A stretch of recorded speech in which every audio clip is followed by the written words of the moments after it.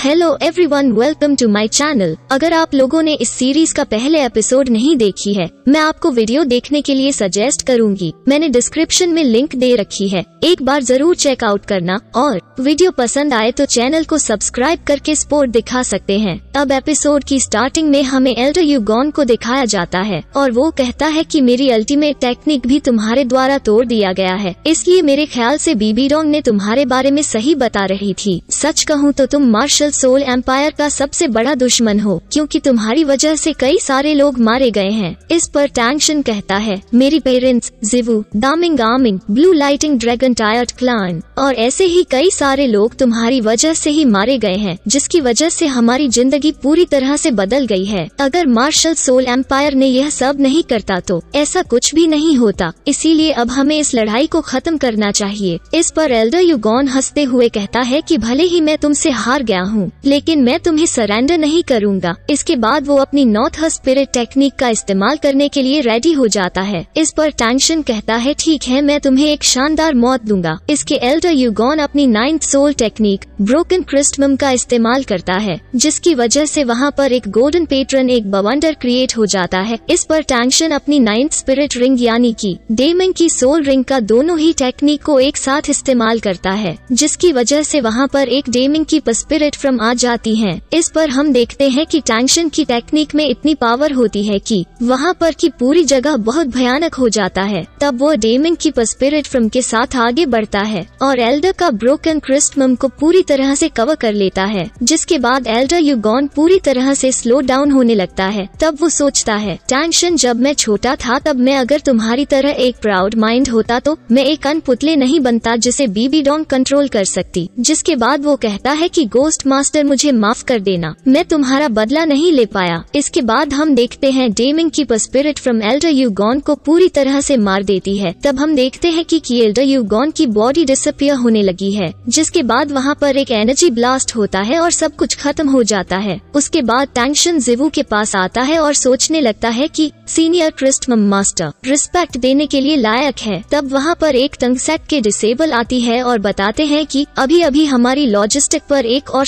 Soul master का group आया था, जिसके लिए दाई मुंबई और बाकी के लोग हेल्प करने के लिए गए हैं। फिर वो बताते हैं कि इसके अलावा भी और भी ग्रुप आए थे जो हमारी तरफ़ तेज़ी से बढ़ रहे हैं। जिनके बारे में हमें नहीं पता है वो लोग कितने की ग्रुप में आ रहे हैं। इस पर टेंशन कहता है कि ऐसा लगता है मार्शल सोल एम्पायर इसके बाद के लिए ज़्यादा ही सीरियस है। फिर वो कहता है कि जाओ तुम टियाडो लॉजिस्टिक ट्रूप्स बता दो कि वो लोग श्रेक डेवल्स को एक ऑर्डर में रिपोर्ट करते हैं और वही जनरल बायसी से बताने की। वो लोग जल्दी इस सोल मास्टर से जल्द ही छुटकारा पा ले। इसके बाद हमारा सिन शिफ्ट होकर के दूसरी जगह आता है। यहाँ पर हम देखते हैं कि मार्शल सोल एम्पायर के कुछ ट्रूप्स टियाडो लॉजिस्टिक को बेकार करने के लिए एक बड़ा सा पत्थर उनके ऊपर गिराते हैं, लेकिन तभी दाई मुंबई उस पत्थर को बीच में ही तोड़ देता है। और वही क्या गर्ल सभी ट्रूप्स को एक झटके में मार दी थी है। वहीं दूसरी तरफ़ मोटू भी कई सारे सॉल मास्टर को मार रहा होता है, जिसके बाद हम लोग नींग ग्रोंग और ऑस्कर को देखते हैं। यह लोग भी लॉजिस्टिक ट्रूप्स को बचा रहे होते हैं। इसके बाद हम देखते हैं कि टेंशन के प्लान के अकॉर्डिंग यह सभी लोगों ने मार्शल सोल एम्पायर भेजे गए सारे ग्रुप को पकड़ लेते हैं और मार देते हैं। तभी हमारा सिन शिफ्ट होकर के जयलिंग पास पर आ जाता है, जहाँ पर एक सेक्स मास्टर बी डोंग को बताता है कि टियाडो आर्मी काफ़ी लंबे समय से कैंप कर रही है, इसलिए अब वो लोग ज़रूर कुछ न कुछ करेंगे। इस पर बीबी डोंग कहती है कि, हमारे आर्मी के बारे में क्या सूचना है वो पहले बताओ। इस पर छह टी एच एल्डर बताता है कि हमारी ट्रूप्स के मॉरल बहुत ही हाई है। हमारे सारे सोल मास्टर अपनी पोजीशंस पर हैं। वहाँ पर एक सोल्जर चिल्लाते हुए आता है और बताता है कि हमारी रे टीम ने एक रिपोर्ट भेजी है। इस पर बीबी डोंग पूछती है कि असल में क्या हुआ है। इस पर वो बताता है कि हमारे दस के दस टीम फेल हो गए हैं, जिसके बाद उन्हें से सारे लोग मारे गए हैं। इनमें से तीस लोग ऐसे बचे हैं और वो ज़्यादा ही इंजर्ड है। इस पर छह टी एच एल्डर पूछता है कि क्या उन्हें क्या हुआ? तब वो बताता है कि यह सभी सोल्जर हमारी कंट्री के लिए शहीद हो गए। यह सुनकर के वहाँ के लोग शौक हो जाते हैं। इसके बाद हमारा सीन शिफ्ट होकर के फिर से टियाडो आर्मी कैंप पर आ जाता है। तभी वहाँ मोटू नींग्रोंग और ऑस्कर के पास आता है। तभी कुछ देर में दाई मुंबई और कैटकल भी आ जाते हैं, जिसके बाद नींग्रोंग पूछती है की आखिर में टैंक्शन और जिवू कहाँ पर है। लेकिन तभी वहाँ पर टैंक्शन और जिवू आ जाते हैं। इस पर मोटू उनसे पूछता है कि यहाँ पर क्या सिचुएशन थी। ताकि हम लोगों ने तो यहाँ पर आए हुए सारे सॉल मास्टर को मार दिया। और वही मैंने सुना है कि तूने छह सॉल मास्टर की टीम और एक ग्रैंड सॉल मास्टर को भी मार दिया। इसलिए तुम पहले से काफ़ी ज़्यादा पॉपुलर हो गए हो। इस पर टैंक्शन कहता है कि अभी भी सिचुएशन अच्छी नहीं है, इसलिए हम लोग को शांत नहीं रहना चाहिए। इस पर दाई मुंबई बताता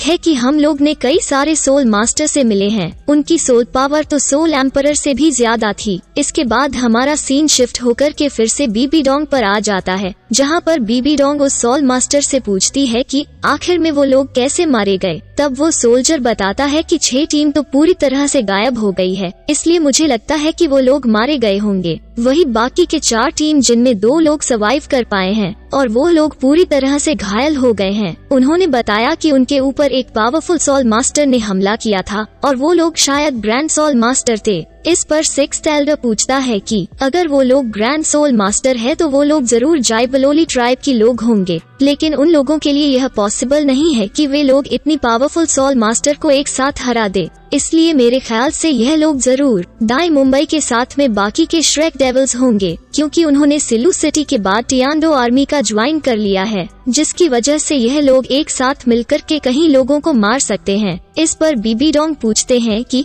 क्या हमारी टीम ने टियांडो आर्मी का फ़ूड सप्लाई को बर्बाद कर दिया? इस पर वो सोल्जर डरते हुए बताता है कि एल्डर यूगॉन की टीम भी ऐसा नहीं कर पाई है। इस पर सिक्स एल्डर पूछता है कि आगे उसकी टीम को क्या हुआ? इस पर वो सोल्जर डरते हुए बताता है कि अभी तक हमें नहीं पता चला है कि उस टीम को क्या हुआ। इस पर बीबी डोंग भी गुस्से में आ जाती है और कहती है कि सभी टीम को वापस बुला लो और पता लगाने की कोशिश करो टियाडो आर्मी कैंप में आखिर चल क्या रहा है, जिसके बाद तुम लोगों को उनकी सॉल मास्टर पर नज़र रखना है। इसके बाद हमारा पार्ट दो यहाँ पर पूरी तरह से कंप्लीट हो जाता है। आई होप आपको यह वीडियो अच्छी लगी होगी। अच्छी लगी हो तो चैनल को सब्सक्राइब ज़रूर करा लेना।